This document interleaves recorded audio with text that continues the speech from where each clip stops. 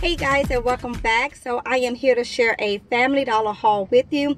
I am taking advantage of the 5 off 25 that we have available to use until the close of business on Saturday, April the 11th. Now the 5 off 25 is a digital coupon. Therefore you must have a Family Dollar account set up in order to utilize this coupon. You can simply go into your app store and download the app or go to the website by the dot .com and then you can sign up for an account there. You would clip the digital coupon in order to take advantage of the 5 off 25 savings. Now just as with any other threshold coupon in any other store, you must purchase $25 worth of product before tax is added. And then it would be after any Family Dollar store coupon. So let's just say, for example, there was a store coupon for save a dollar on toilet paper. After that coupon is applied, you will still have to be at a subtotal of $25. Okay, so for any of you that may not be familiar with Family Dollar, just that way you know how it works. So again, 5 of 25 available until the close of business on Saturday, April the 11th.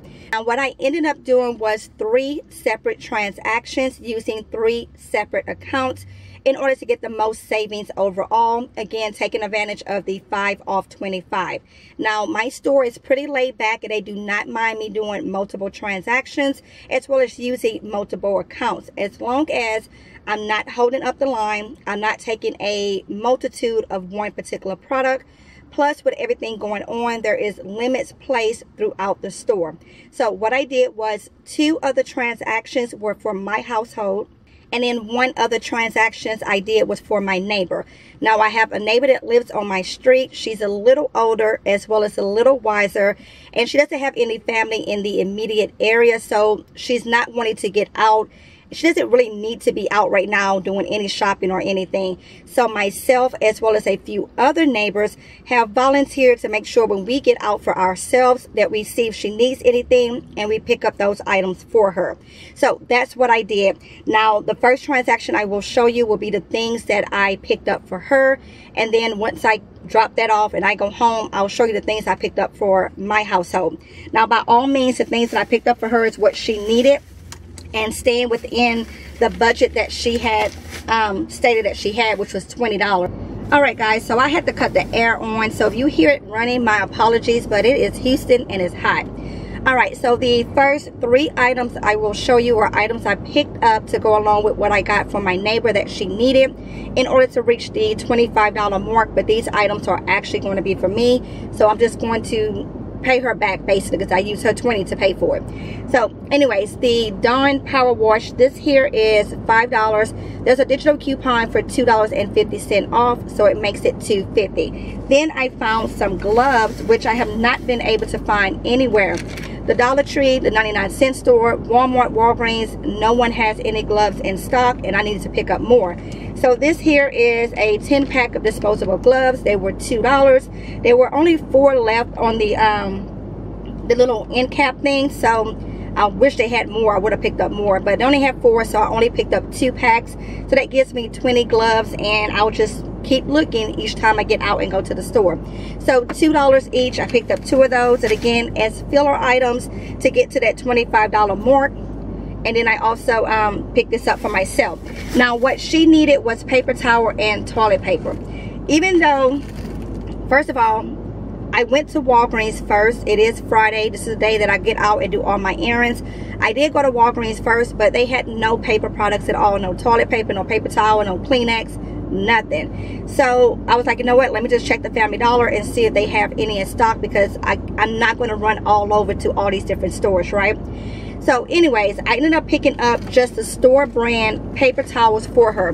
Now, even though I do resell from my own stockpile, at this point, there's just certain things I'm not letting go of. I'm not going to be reselling any cleaning supplies, paper goods, um, and things like that. Right now, no, because the stores don't have them, so I can't get my hands on it to replenish my personal stockpile.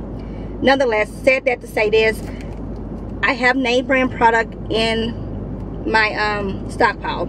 I asked her if she mind if it was store brand. She's like, I don't care what it is, just as long as it works. So it is what it is. I have never tried the um, Family Dollar's brand on paper products, but I don't know. So we'll see. $1.50 for two rows. The store had a limit on four, so I picked up four of these, okay? And then I picked her up toilet paper because she needed this as well.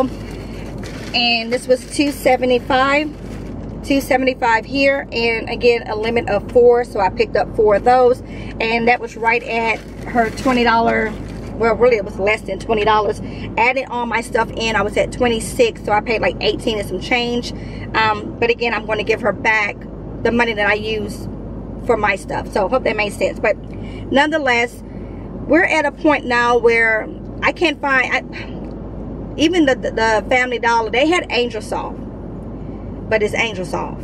I look, I am bougie to an extent, and I don't even do Angel Soft. They did have Angel Soft though, and I don't know. It may Angel Soft may be better than the Family Dollar brand toilet paper, or this may be better than Angel Soft. I don't know, but I know I'm not a fan of Angel Soft, so I'm like, mm, no, we're not gonna do that.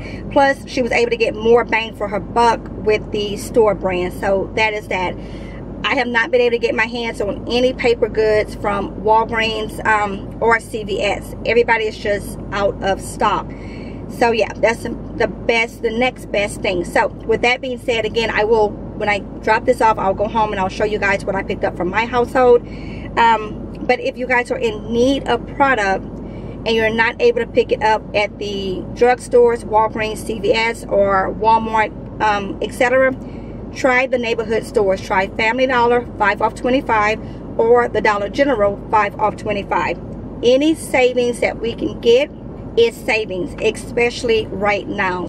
Alright, so here's the super exciting things I picked up from my house. A charcoal grill, because apparently we don't have one. This was 26 I used the 5 off 25, so paid 20 plus tax. Then I did pick up some more garden supplies. A few little planters that were priced between a dollar to $3. I got these solar lights, six in a pack.